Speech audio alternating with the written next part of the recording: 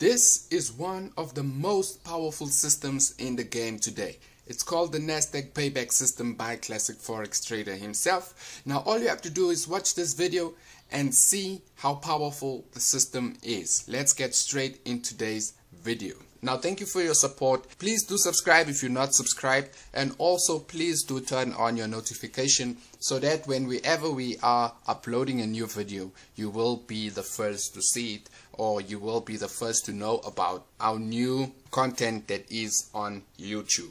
Okay, so this week we are reviewing the Nasdaq payback system by Classic Forex Trader himself and what I can say about this, it is a very powerful indicator, expert advisor, whatever you want to call it, it is the bomb. Okay, it works very well with Nasdaq, but also what I've seen is that the guy does trade it with currency pairs as well. So what you're going to need first is your Renko. Okay, Renko live chart. Okay, so what I've done is I have added the Renko from version 3.14. If you can see up here, um, Renko, oh, Renko live chart version 3.4 so I've added it and made it Renko version 4.13 so the first thing you'll notice is that it's not in my indicator window. I have put it in my expert advisor. Why is that that I've put it in my expert advisor? Is because it's a robot. It works the same as the other one okay? You're going to have to put it in the expert advisor so that it can change the the way your chart looks okay? So what are the key aspects of Renko. Okay, Renko is designed to take out market noise. It is designed to make your chart look better without all the noise. So it's like when you look at a picture and it's scribbled on, you do not have a clear picture in your mind what the artist was trying to do. So that's what Renko does. It just takes out all the market noise such as your um, rejection areas, your support areas, the ones that will make you, that will confuse you in this market. Okay, so we're going to press, okay, so what you need to do, let me start all over, is you need to bring this over onto your NASDAQ chart and press yes. Okay, then it's going to bring up this box. Okay, so in this box, there's a few things that you need to change and obviously you need to go to common and we need the long and short positions and then obviously you need to put allow DLL and allow modification of signals. So why we're allowing this to happen on our charts is so that when the computer or the expert advisor works on your chart is that it can allow itself to do most of the modifications for you if you leave one unallowed it will definitely not work okay that's how we're allowing it to work with this chart. Then go to inputs and the first thing that you'll notice is that with the old one what we had to do is we needed to go onto the file and create a new time frame. So with this one Renko time frame is there already. I have already inserted that for you. And obviously if you want to change the box you may change it but I would allow it to stay at the size it is which is 10.0 if you want to make it bigger you can make it bigger. If you want to make it smaller you can make it smaller. But for this for this size I think it's the best fit for the Renko okay. So what is the next thing? We need to find the time frame. So why am I choosing time frame 2 so time frame 2 is basically not part of the MetaTrader world. Okay. We're normally used to seeing one minute 5 minute, 15 minutes. So the reason why I'm using 2 minute is because between 1 and 5 there are there are minutes that um, MetaTrader 5 is not giving us. So I'm using this because it's the best time frame to use with the Renko or with the Nasdaq payback system. Okay, so once you click OK, you're going to get a sad face. Okay, you're going to get the sad face, and the reason why you're getting the sad face is because of what the Renko is trying to tell us. So what it's trying to tell us is that we are still on the 5 minute chart and obviously that it's not on the 2 minute chart. So how are you going to install a 2 minute chart on MetaTrader 5 or MetaTrader 4? You're going to have to click on file, go to open offline and there you can see we have the 2 minute chart. So add that to your charts and you'll say open and then you'll have this so I don't like the grid so that's why I just took it off and this is what you're going to get so now you can see there's not that much of market noise you are getting the clear indication of everything that's happening currently. You can see it's smooth in the way it moves up or in the way it moves down. It's giving you perfect, perfect, perfect analysis. It's giving you perfect direction of the market.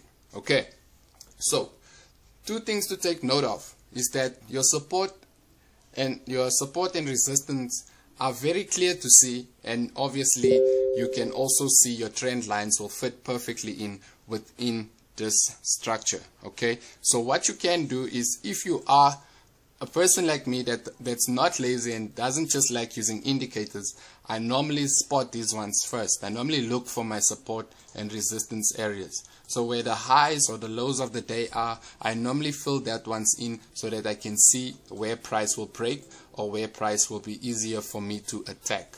Okay. So let's add more just to show you. So these are all my support areas, right? These are all my support areas.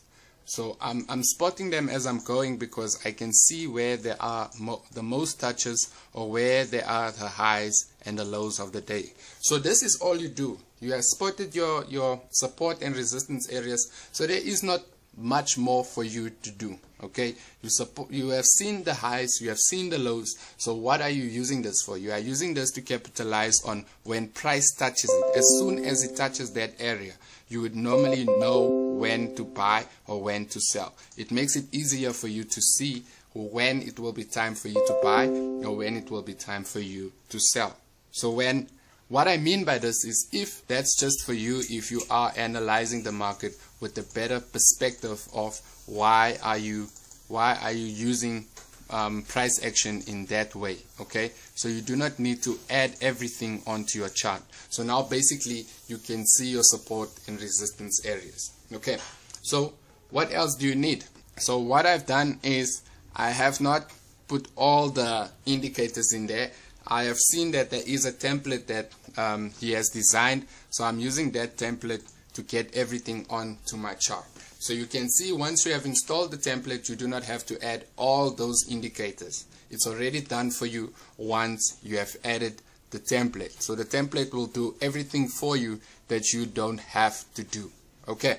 So I'm going to have to switch off my Wi-Fi to backtest this to show you what I mean by all this. Okay. So, okay, let's begin with the analysis.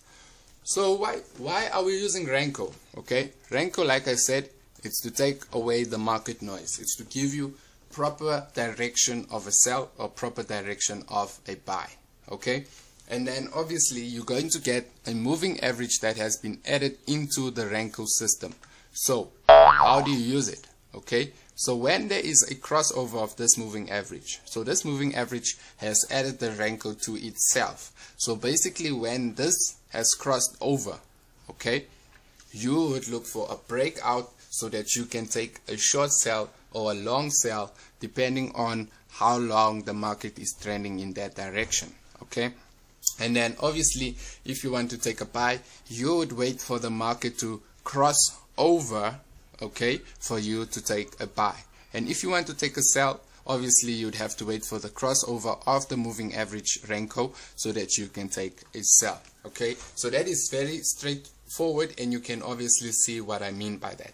Now obviously if you are going to um, take a sell you need to first find this pivot point and obviously your ATR okay? So when your pivot point touches or immediately when it shows up you need to look for the red okay? When it's red it means that it's time for you to sell. So when it's red you do not just enter you wait for the second line okay? When there, there'll be um, blocks of blue following the red one. So after the the, the red uh, candle after the two, two minutes are done you'll get another blue one and you can take a sell okay? On the second confirmation of the blue block and then if you want to take a buy you would wait for it to be green. And after it is green you would take a buy on the red block after the green one is completed. Okay? So what else do you need to know? So now once we have established that you need to find the directions and the only way you can find directions in NASDAQ basically is by going to this website. So I have showed you guys on the cheat codes how to use this and from that I have also used it to see how I can fit it in with the NASDAQ payback system. Okay, so like I said, the first thing we need to realize is what is the headlines on NASDAQ. So what they're saying is weekly preview, will stocks continue to rise in 2021? So they're asking a question, but they're also giving you a clear indication of they are expecting it to rise. So what are we doing? We're looking for an uptrend in the NASDAQ perspective. Okay, and then let's go down. We do not need this. We do not need this. The only thing we need is to find what are the five big boys doing. So today the five big boys are actually buying and it's only Russell that is selling. So out of the five, it's a five, it's a four out of five. So which means that we do have a clear indication of the trend going up. So how would you capitalize on this? You would go back to your chart and when it's time to buy, okay, when the green candlestick appears, you can take a buy and know for sure that for the day I'm going to have proper, proper, proper, proper entries. Okay. So once that is done, you can take a short sell and you know when the when the other one comes back, you would take a buy and then you would hold the buy because now you have one position opened here and one position here. And then if you want to sell, you are allowed to sell, but do not hold it long. Like I said to you, the trend is an uptrend, so you would wait for it to cross over again and then once it has crossed, you take a buy and close your sell order and hold that as well. So you can see how many times you could do that. You can sell here, buy there, hold the buy position, close the sell position, sell here, and then buy and then hold the buy position. So that's basically how you use this system. It's very simple. It's straightforward. I don't think there's a lot of explanation for me to dive into. The only thing that you must mainly focus on is does the Renko chart have the proper um, support and resistance areas that will keep you in the trade. Okay, it's very powerful, very simple. Uh, have a wonderful day